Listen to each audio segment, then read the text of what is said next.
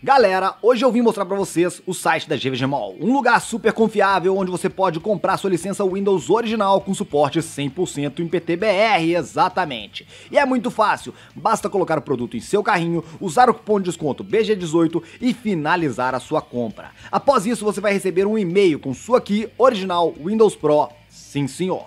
Para ativá-lo é mais fácil ainda, basta digitar ativação na barra de pesquisa, colar o serial que lhe foi passado e pronto. É bem fácil, não perca a chance e ganhe aquele desconto com o cupom BG18 e saia da craqueagem. Gift card para PlayStation, Xbox, Nintendo e muitos outros é só na Rei dos Coins. E vale lembrar que sua entrega será feita em até 50 minutos.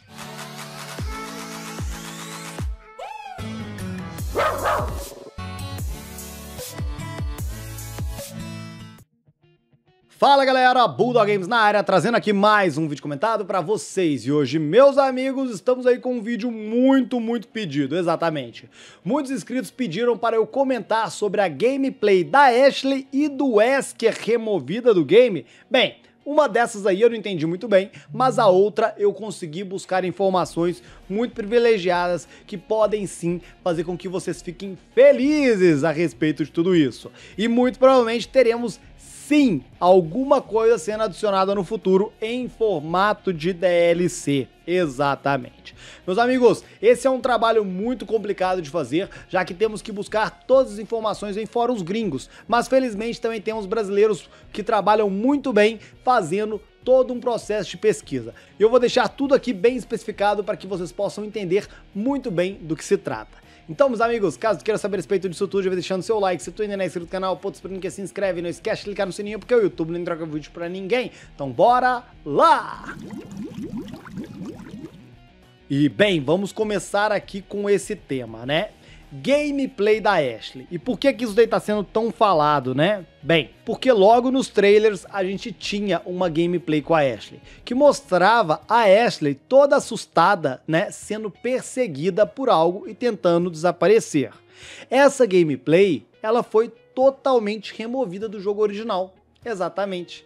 Então muitas pessoas começaram a conversar, perguntar e questionar onde que estava aquela gameplay do jogo original. A Capcom simplesmente removeu isso. Mas, como eu disse, temos brasileiros aí fazendo um trabalho maravilhoso sobre Resident Evil 4 Remake e um deles é o Master Reset. E o Master Reset conseguiu encontrar algo que é no mínimo incrível, que é o que? Ele conseguiu encontrar um caminho secreto dentro de, dentro de Resident Evil 4 Remake. Esse caminho secreto é muito semelhante àquele caminho que a gente via ali dentro do trailer de Resident Evil 4, onde a gente via a nossa querida Ashley Graham fugindo, sendo perseguida por algo e muito assustada. Caso você se lembre, é um local muito estreito, né? Um local muito estreito com vegetação dos dois lados. E olha esse local que eu tô deixando aí, lembrando que o vídeo do Master Reset vai estar tá aí na descrição para que vocês possam conferir tudinho. E sabe o mais legal? O Master Reset ele fez todas as tentativas para ver se havia colisão, para ver se o local é, é, é, possível de andar. E algumas partes daquele local tem colisão com balas, outras não tem colisão para o personagem Leon andar, Leon andar, mas tem colisão em uma outra parte do cenário.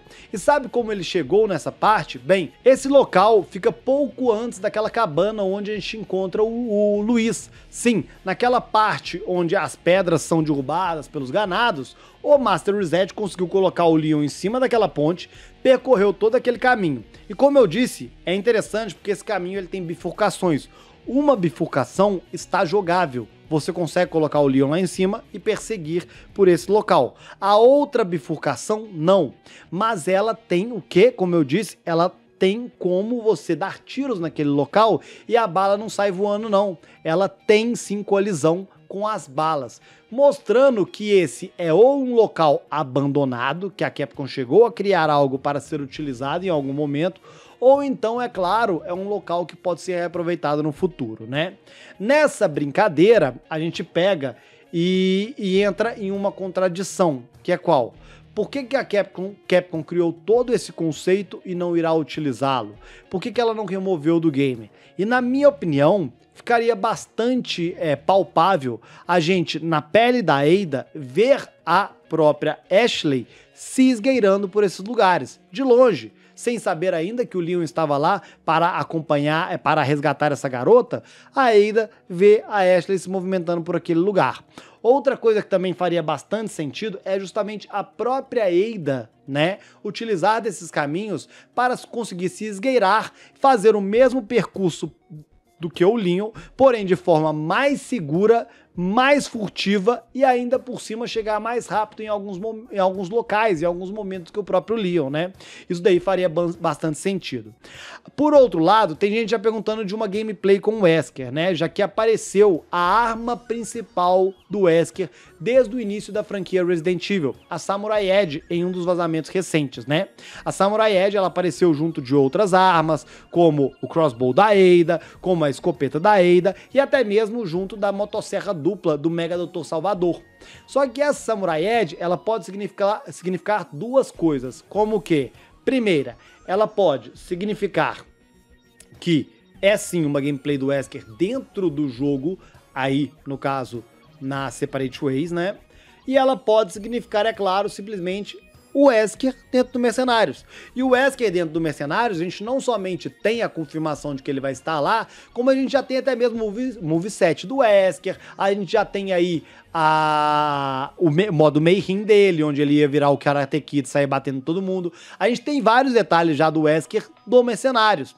Então, a Samurai Edge, ela não confirma, na minha opinião, uma gameplay do Wesker em campanha. Ela confirma mais uma vez uma gameplay do Wesker. E essa gameplay do Wesker pode estar no Mercenários.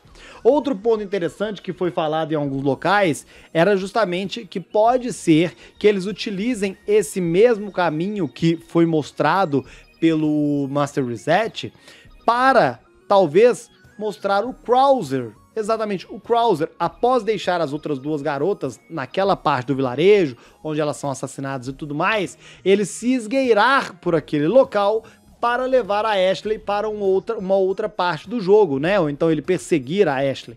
Se isso realmente for acontecer, eu acho que não será com a gente jogando com a Ashley. Eu não vejo um motivo de, na DLC Separate, Separate Ways, eles liberarem que a gente jogasse com a Ashley.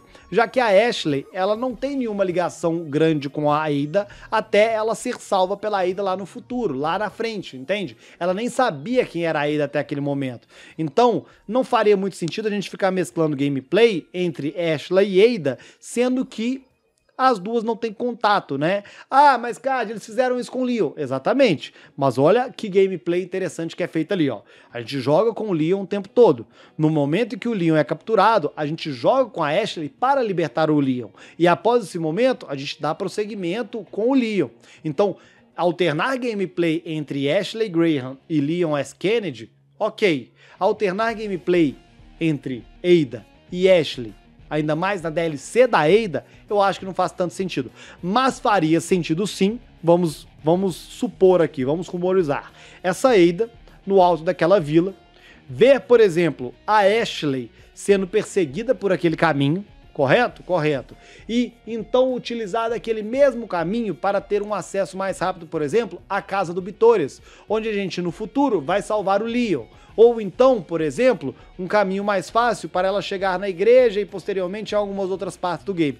Isso tudo faz bastante sentido, viu, meus amigos? Agora, jogar com a Ashley, eu acho que se a Capcom não colocou no jogo base, ela não vai colocar mais. Essa, pelo menos, é a minha opinião. Tá ok?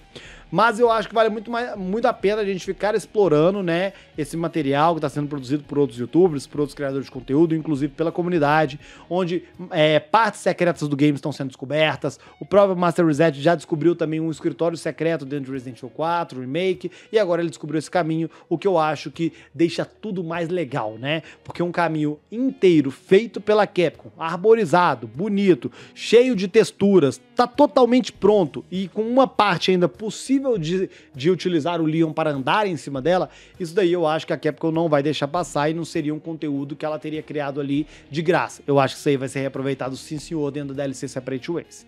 Tá ok? Bons amigos, comentem aí o que eu disse a respeito disso tudo, vocês concordam comigo ou não? Espero que tenham curtido esse vídeo, caso tenham curtido, não esquece de deixar o seu like, se tu ainda não é inscrito no canal, aponta esperando que se inscreve, não esquece de ligar no sininho, porque o YouTube não entrega um vídeo pra ninguém. Então falou do alguém, aquele abraço e fui!